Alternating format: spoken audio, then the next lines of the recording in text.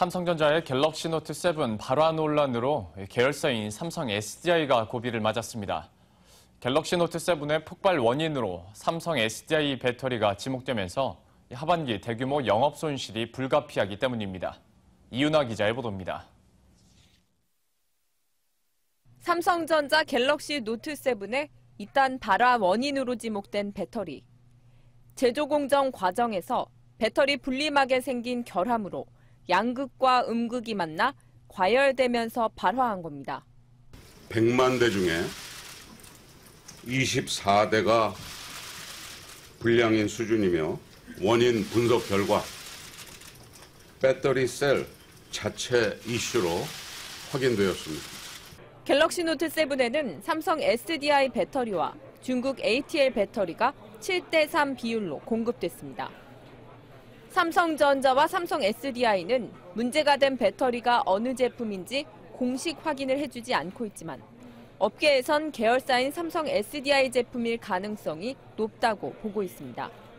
삼성전자는 사고 이후 발화 원인으로 지목된 배터리 사용을 중단했습니다. 제3의 다른 배터리 업체로부터 배터리를 공급받아 부족한 배터리 공급량을 채운다는 방침입니다. 갤럭시 노트 7에 다량의 소형 배터리를 납품해오던 삼성 SDI는 하반기 실적 부진이 불가피해졌습니다.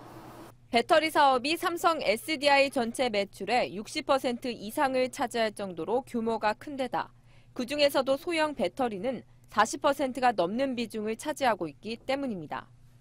엎친 데 덮친 격으로 중대형 전기차 배터리 사업에서는 중국 당국 인증 심사로 골머리를 앓고 있습니다. 증권업계에선 삼성 SDI가 2분기 영업 손실 532억 원을 기록하며 1분기에 비해 적자 규모를 줄였지만 3분기에 다시 적자 규모가 늘어날 것으로 보고 있습니다. 게다가 배터리 불량 제품에 대한 손실 처리도 확정되지 않은 데다 소형 배터리 납품 재개 시점도 불명확한 상황. 삼성 SDI는 이미 생산해 놓은 배터리 수량이나 향후 재고 손실 처리 등에 대해 확인이 불가능하다며 공식적인 언급을 피하고 있습니다. 머니투데이 방송 이윤아입니다.